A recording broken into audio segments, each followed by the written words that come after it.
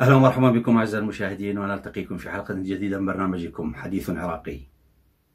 مرة أخرى ول... وليست أخيرة. سنتحدث عما يصرح به دائما ويتحدث به دائما مصطفى الكاظمي رئيس الوزراء الحالي وغيره من من رموز هذه العملية السياسية. لكن مصطفى الكاظمي يعني يبدو أكثر من مرة عندما يحس أن أن يعني نصيبه أو فرصته في البقاء في منصب رئيس وزراء. يبدأ في الحديث عن إنجازات وهمية. يعني هو بدأ بكذبة كبيرة وينتهي بكذبة كبيرة. بدأ بكذبة أن من جاء به هم ثوار تشرين وأن ثورة تشرين هي من جاءت به وهذه كذبة كبيرة طبعا. من جاء به هي الأحزاب والقوى والميليشيات التي تحالفت والمنضوية بالعملية السياسية هي التي جاءت به لأن وصلوا إلى طريق مسدود وكان يجب من أن يفعلوا شيئا لإنقاذ العملية السياسية من السقوط.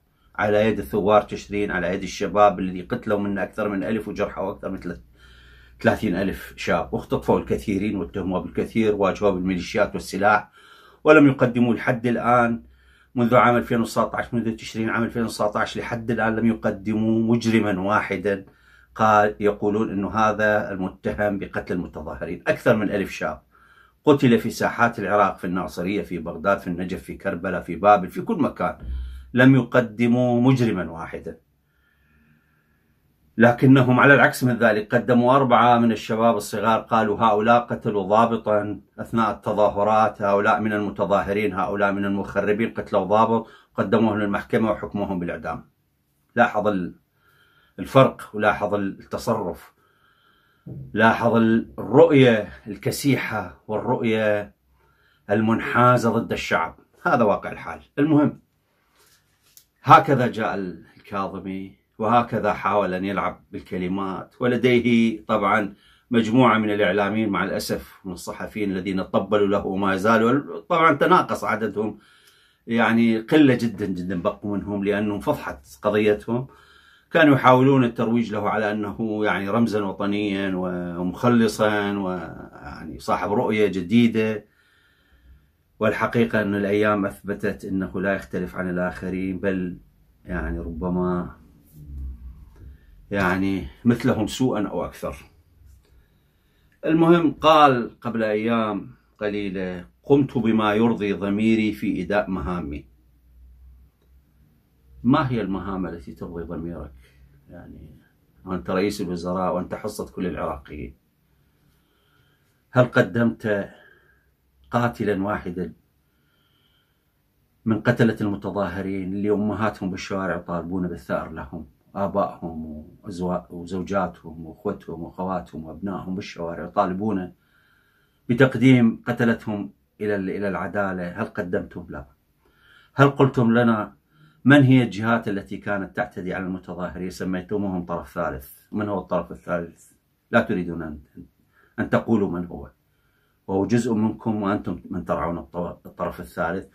وبسيارات الحكومة وبسلاح الحكومة وبسلاح الدولة يقتل الناس. ويعتقلهم حتى في سجون الدولة.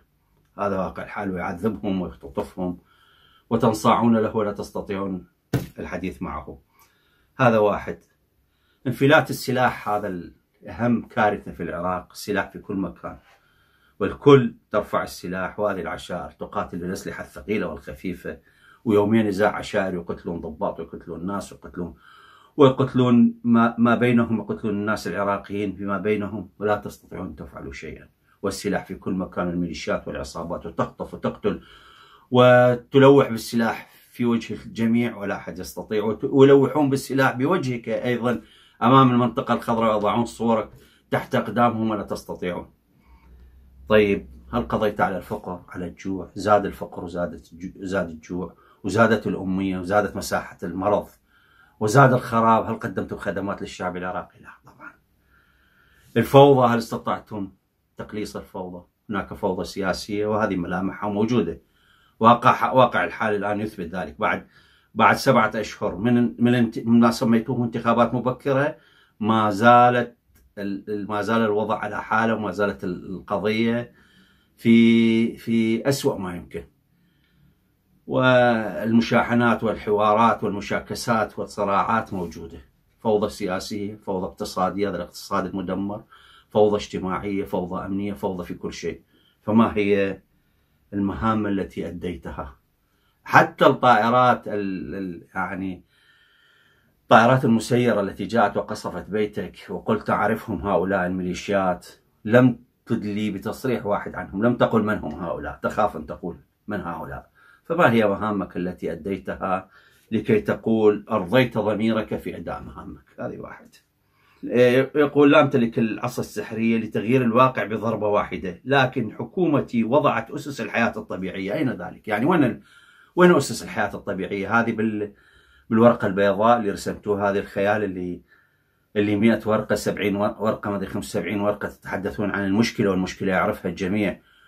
والباقي 20 صفحة ما شنو تتحدثون عن عن مشاريع وهمية لا يستطيع أحد تنفيذها لأنه في العراق لا توجد لا صناعة ولا زراعة ولا تجارة ولا كل شيء. وهذه يحتاج إلى أموال وإلى بنى تحتية وإلى خدمات وإلى أمن وإلى استقرار سياسي وإلى استقرار اقتصادي وإلى سياسة اقتصادية وإلى وعي إلى رؤية. هذه غير موجودة كلها. فوين هذه هذه هذه وين هذه الأسس التي يعني أسس الحياة الطبيعية التي وضعتوها والعراق من سيء إلى أسوأ. فإذا كنت تنظر إلى المولات التي تبنى بالعراق وإلى الأسواق التي يبنوها وكل البضائع أجنبية والمطاعم مليانة الملل بها العراق من شمال إلى جنوب مطاعم وأسواق مولات هذه كارثة. إذا كان بلد تحولونه إلى بلد مستهلك وبلد يأكل ويشتري ويلبس فقط وينام هذه كارثة كبيرة. وإذا كانت هذه أسس الحياة الطبيعية فتلك يعني أم الكوارث. ويقول أيضا نجحت في تحقيق أعلى معدل نمو اقتصادي على مستوى الدول العربية. وهذا الموضوع علينا أن نتوقف عنده. يعني إذا كان هو لا يفهم في الاقتصاد فكان على من يحيطون به من يدعون أنهم مستشارين اقتصاديين يقولوا له لا تتحدث في هذا الموضوع. لأن النمو الاقتصادي ليس كما يراه. يعني يطلع يطلع جدول يقول العراق أعلى درجة نمو اقتصادي. اعتمادا على ماذا؟ وسأقول لك وسأقرأ مما يعني في حديث الاقتصاديين الناس اللي يفتهمون بالاقتصاد. يقولون النمو الاقتصادي يقاس النمو الاقتصادي في كمية السلع والخدمات التي ينتجها اقتصاد معين. خلي يقول لنا هو شنو السلع والخدمات التي ينتجها الشعب العراقي؟ العراق مو الشعب العراقي العراق الشعب العراقي ينتج كل شيء ويستطيع أن ينتج كل شيء لكن أنتم ما تخلوه يعني قاطعين عليه الطريق. وهذه السلع يتم إنتاجها باستخدام عناصر الإنتاج الرئيسية وهي الأرض والعمل ورأس المال والتنظيم. العمل طبعا الناس وكذا. الأرض موجودة عندنا. العمال والناس اللي يعملون دول هذه ملايين من العاطلين عن العمل. ورأس المال موجود لكنه خاضع للفساد وداخل في مؤسسة الفساد اللي تسرقونه. والتنظيم الإدارة غير موجودة إذا عناصر الإنتاج الرئيسية غير متوفرة في العراق. إذا ماكو إنتاج. وبشكل عام يقولون إن إن عام النمو الاقتصادي يعني زيادة الدخل لدولة معينة. في بعض أوجه تعريفه هو زيادة الدخل دخل الدولة لدولة معينة. فلا علينا أن نتوقف يعني. النفط قفز سعره. من 30 ربما 30 أو 20 دولار ما أعرف إيش قد إلى 120 دولار. إنتاج العراق عالي جدا. السوق يطلب النفط. هناك مشكلة دولية حدثت بين روسيا وأوكرانيا وحرب ومصيبة فالطلب عالي على النفط. أسعار النفط قفزت إلى 120 دولار. زادت الواردات العراقية من النفط. زادت الأموال التي تأتي للعراق من جراء إنتاج هذا النفط. طبعا إنتاج هذا النفط كله تقوم به شركات أجنبية لأن كل النفط يعني موزع حصص لهذه الشركات الأجنبية. فهي تنتج وتأخذ حصتها وتعطيك حصتك. فبالتالي الموارد زادت ويقولون أنه هذا الشهر 10 مليار دولار أكثر من 10 مليار دولار واردات العراق. هل هذا تعتبره نمو اقتصادي؟ إذا كان ورود المال بهذا الشكل ما هو دخل العراق؟ ما هو دخل الحكومة مالتك؟ يعني شنو وجه النشاط الذي قدمته الحكومة لكي يرتفع النمو الاقتصادي؟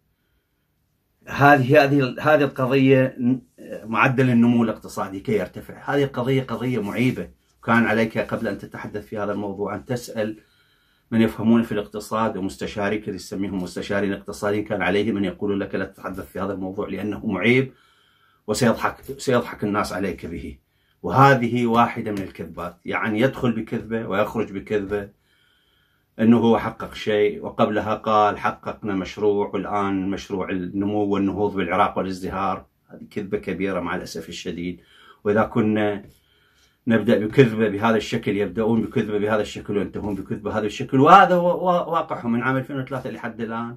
فانظروا أحوال العراق إلى أين يعني تسير إلى الآن. مع الأسف الشديد. وقت هذه الحلقة قد انتهى. أترككم بخير وألتقيكم في حلقة أخرى. إلى ذلك الحين أستودعكم الله والسلام عليكم.